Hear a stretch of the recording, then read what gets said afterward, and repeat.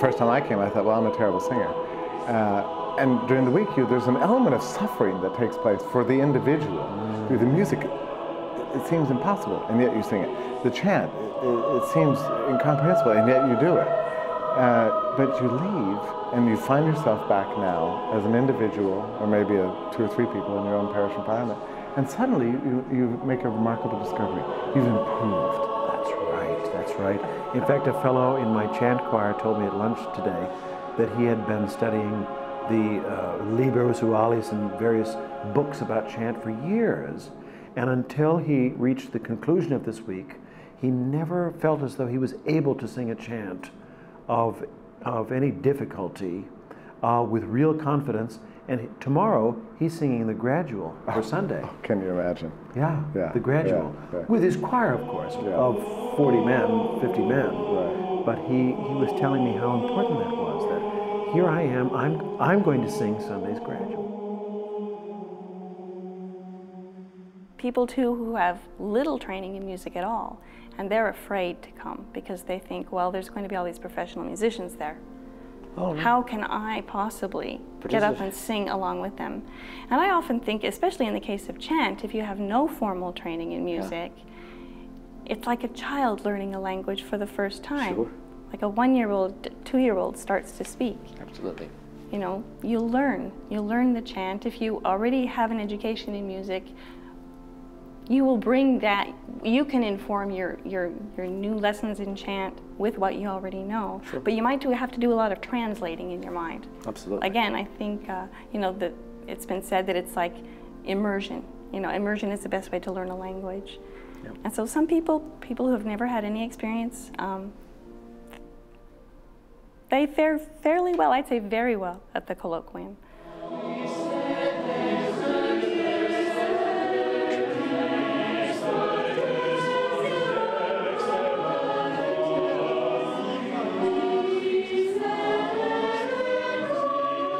Being at the colloquium and seeing real friendships and collegiality, and there's, there's, something quite graceful. Well, you know what, Daniel? It's very interesting to me that people come to the colloquium expecting are worried that maybe we're just a kind of a crappy bunch, you know, that we're just uh, upset that things aren't quite the way they were in the old days or something. Well, the truth is that most people uh, involved in CMA, we, we don't we don't even know what the old days were.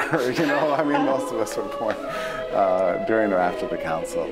Uh, so, uh, in any case, at the culture of our events, you don't have any of the bitterness that people sometimes ascribe to this, you know. But um, everybody is exuberant and happy and, and hopeful, and as you say, working together uh, as a team to try to do something in whatever small way we possibly can at our local parishes or at the national level or in any other way to assist in bringing music to the Mass that's, that's sacred, that's beautiful, that's truly universal.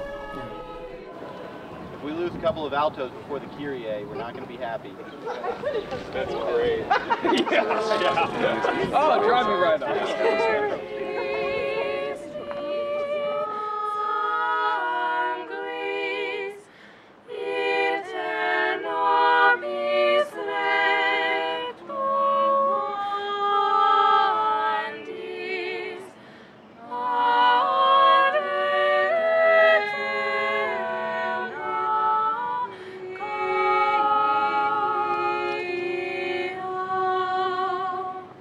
look at it and go, they go, I saw this at, at, the colloquium. Several people who came in the chapel, it was very touching. They, you could tell that they were palpably moved by the music. And it was a, a genuine beauty, not, not some artificial thing, but something beautiful.